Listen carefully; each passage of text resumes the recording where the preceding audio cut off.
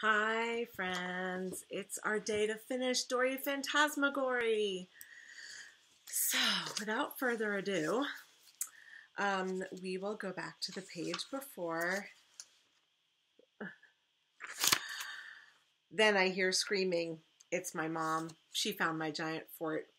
Rascal! What is this mess? When did you do this? Clean this up right now.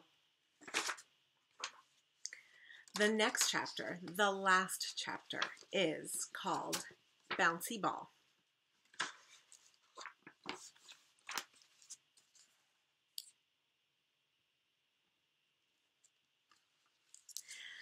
It takes a really long time to clean up the fort because I keep forgetting that I'm cleaning up. Rascal, bedtime, calls my mom. Brush your teeth. As I brush my teeth, I say goodnight to Mr. Nuggy. He has changed back into his regular clothes and is rushing home to see his wife. That's when Violet bursts into the bathroom, crying. I can't find Cherry anywhere, she says, and I've looked everywhere. She's gone. And there's Mr. Nuggy saying goodbye. And then look at the next page. Nope. What does a gulp sound like? Uh oh. Where is that doll? I'll be right back, I say. And you can see it's all capital letters here. Where is that doll? I tiptoe downstairs and into the dark living room. Oh, where did I put Cherry? I gave her to Mrs. Gobblecracker, of course, but what did I really actually do with her? Think, think, think, I tell myself. I check all the usual places the fridge, the toilet, the dishwasher, the garbage, under the couch, in the couch, under the rug, upstairs, in every drawer, under the beds, in the tub. After looking everywhere, I found, and here I'll show you the pictures in a minute, two quarters, a silver button, a Hello Kitty eraser, a bunch of Legos, a moldy cookie, Cherry's shoe, Violet's rainbow bouncy ball. But no Cherry. I put the bouncy ball in my pocket. Look at all the. Oopsie, sorry.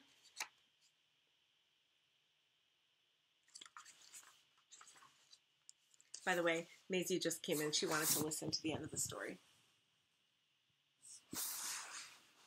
I think she's sad that it's going to be over soon. I'm so tired. I give up. Cherry is definitely not in this house. Well, if she's not in this house, where is she? Did someone take her? But who would take her besides Mrs. Oh no! Ah! If Cherry is really gone forever, does that mean Mrs. Gobblecracker is real? You can see the capital letters there. My dad hears my scream and comes running. Why are you screaming like a maniac? You're going to wake up the whole neighborhood. Cut this out right now and go to bed. Ah! He drags me by the arm. We're done with you for the day, rascal. Everybody is done with you. Got it? Ah!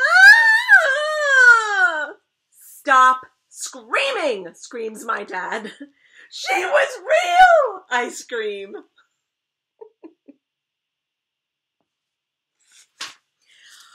Okay, calm down. She was real. Whatever you say, says my dad, dragging me down the hallway to my room. Just go to bed. Even my dad said she's real. And here she's yelling, it's upside down and it says, Help! I have to be brave, I say, clinging to him. No, you have to go to bed, he says, dropping me on my bed. Stay in bed, he says, pointing his finger at me. Then he tucks me in tight. Because it's not safe for you to come out, he says, as he shuts my door. And I think I hear him laugh a tiny bit. I fake sleep for a few minutes, and then when I'm sure my dad is back downstairs, I sneak out of my room. I'm going to tell Violet the truth that Cherry is gone forever and it's all my fault. And even though I know she'll want to kill me, She doesn't have to even bother because Mrs. Gobblecracker is probably coming back for me. I have an idea.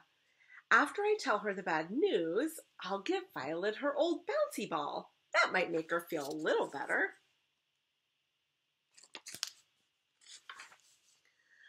Violet, I say quietly, clutching the bouncy ball tightly behind my back. What? she says. There is something I have to tell you, and I'm going to show you guys. That's where we use those three dots and ellipsis to really, whoops, wait a minute. Yeah. So I know to pause as I'm reading these words and wait a minute. There is something I have to tell you. Um, I, but then I don't believe what I see. My mouth drops open. Is that Cherry? Lying right there next to Violet? How, how, how, how did she get there? I ask. Oh, Luke found her when he snuck outside to catch fireflies, says Violet. I must have left her on the front stoop, but I don't know when. Oh, I say quietly, but inside my head my thoughts are loud. Oh, the stoop! Of course! I threw her out the front door when Mrs. Gobblecracker was leaving. Hi, Maisie. she wants to say hello to you guys. Oh, now you can see my laundry in the background. Real life in Miss Wimberger's house. Oh, did I? I you that picture, right? She's remembering here. What did you want to tell me? Violet asks. Oh, yeah, that. Well, I say, climbing into her bed and tucking myself into her cozy warm covers. Well, Mrs. Gobblecracker isn't real after all, I say. I know. I'm the one who made her up, stupid. You did? Oh, yeah, I say. Thanks, Violet. That was a fun game, but it got a little scary at the end.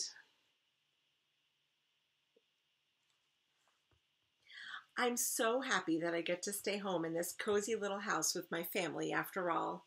Good night, I say to Violet. Good night, she says, giving me a little shove. Now get into your own bed.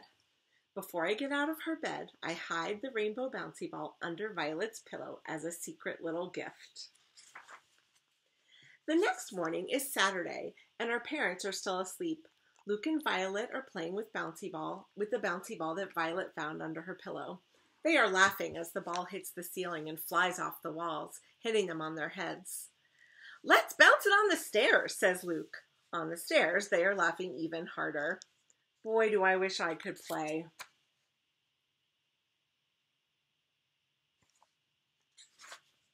Suddenly, it's quiet. I run upstairs to go look. The bouncy ball bounced into the toilet. Luke and Violet stand over the toilet staring down at the sunken ball. what should we do? shrieks Violet. Are we in trouble? asks Luke. We'll have to get it out, says Violet. How do we do that? asks Luke and then they both turn around to find me behind them, watching, smiling.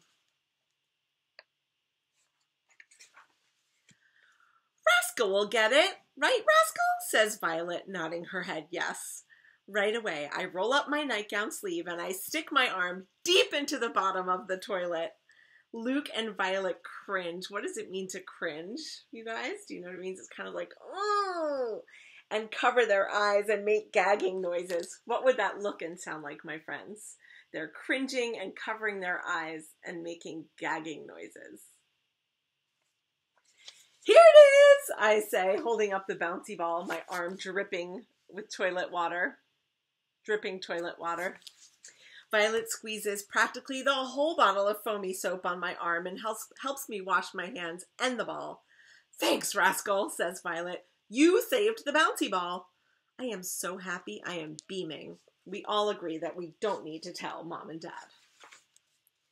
All day, all I can think about is the bouncy ball. Every time I think about it, I feel so proud. Remember when I saved the bouncy ball? I ask Violet. Uh huh, she says. After dinner, Luke says, Rascal, close your eyes and open your hand. My whole life, I've always wanted someone to say this to me. Before I even open my eyes, I know exactly what it is. It's the rainbow bouncy ball. You can borrow it, rascal, Violet says. It's not to keep. Really? I say. Really? And I want to show you guys. Really is written first in regular letters with one exclamation point, but then it says, really? And italics with three, not exclamation points, question marks. And then it has three question marks. So I know to say, really? With that kind of expression. Since you saved it, she says. I hug Luke and Violet. Let's play, says Luke. Yeah, says Violet. Bounce it. I try and think of the best bouncy ball game I can think of. I hold the bouncy ball very tightly, close my eyes, and concentrate.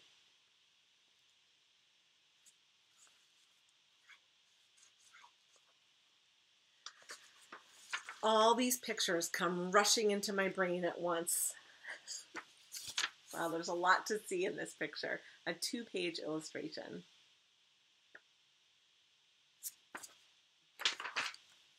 Okay, I got it.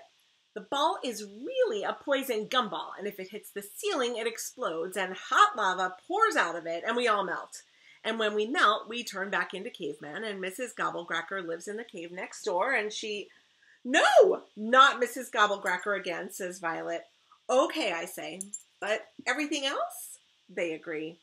Okay, everything else, they say. My brother and my sister and I play bouncy ball. I run like a maniac to catch the ball, running into the walls and screaming as it bonks me in the head. When the ball hits the ceiling, we explode. I'm jumping up and down and making loud crashing sounds, the kind of sounds the kind of sounds the earth makes when it blows up. I leap onto Luke to protect myself from the hot lava. Hot lava is spilling all over the floor. It's bubbling everywhere. We jump on the couch and move the pillows around so that we have a secret cave.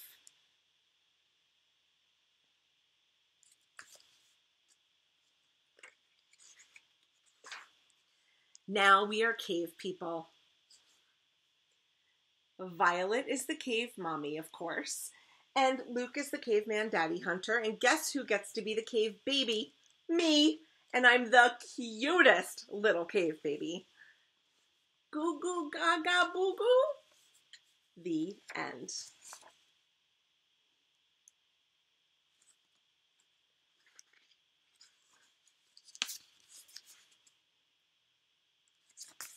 Oh my goodness. That is the end of our book. My friends, I will just tell you that Abby Hanlon, the author and illustrator, taught first grade ah, in the New York City public school system. Inspired by her students' storytelling and drawings, Abby began to write her own stories for children. Her first book was Ralph Tells a Story. Abby lives in Brooklyn, New York with her husband and their two children.